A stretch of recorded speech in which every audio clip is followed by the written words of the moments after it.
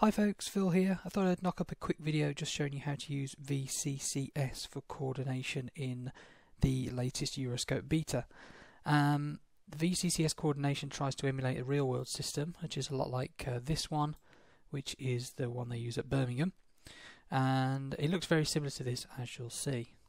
So, the first thing you need to do is download the Euroscope beta, and I'll put all of the uh, the links and uh, IP addresses and things in the in the video description below. Download the Euroscope beta from here, uh, from this link, and all you do is extract the files from there uh, and replace your main Euroscope, uh, replace them in the Euroscope directory wherever you installed it. Uh, I personally took a backup of the whole folder, but um, I've not had any problems with Euroscope since I've been using the beta, certainly not from the beta. I've had problems with some of the other plugins, but I believe that's nothing to do with the beta.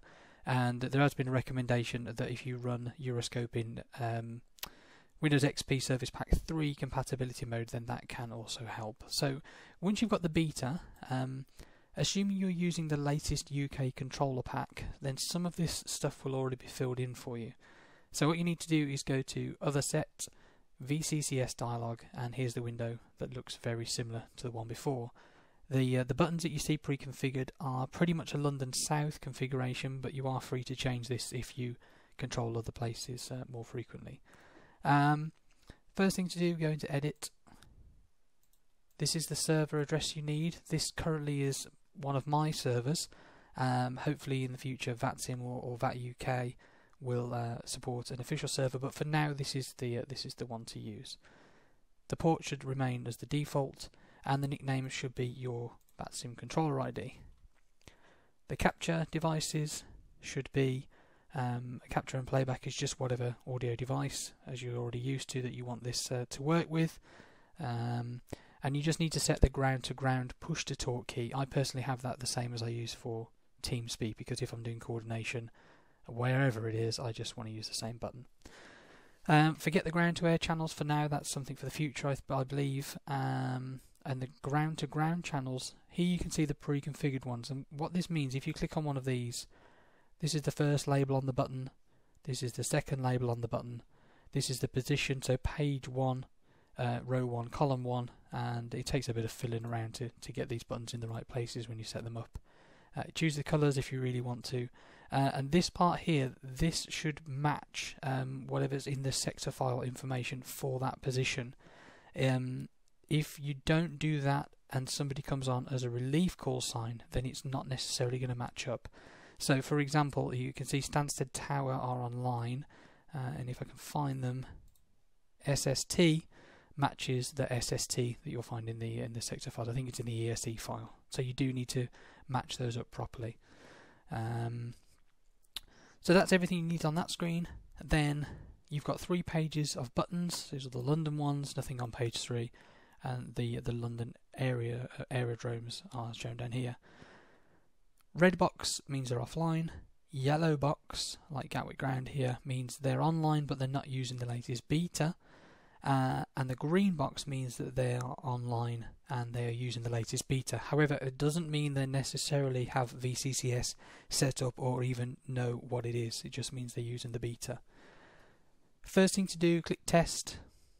If it lights up like this, solid red, solid red, and the two test lines light up, and you also get a little message down here that's connected to the server, then you know it's working. Just hit end. There we go. Now, I'm just going to call uh, Stansted Tower, who I've already spoken to, so hopefully it works. It makes the uh, the Euroscope ring ring on the on the standard. You can find it in sounds if you want to change it. I do find that the WAV that comes with Euroscope is a bit long, and it means that even after you answer, it carries on playing for a bit. So it might be worth actually replacing that WAV file. Uh, but you'll find it just in the normal places of the files. So to call Stansted, there are two ways.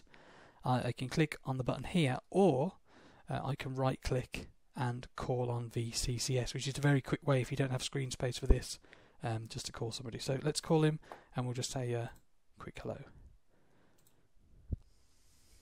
So this is it ringing.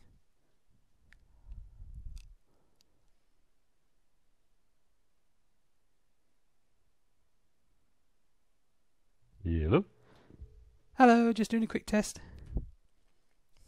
Yeah, it's still freaking ringing.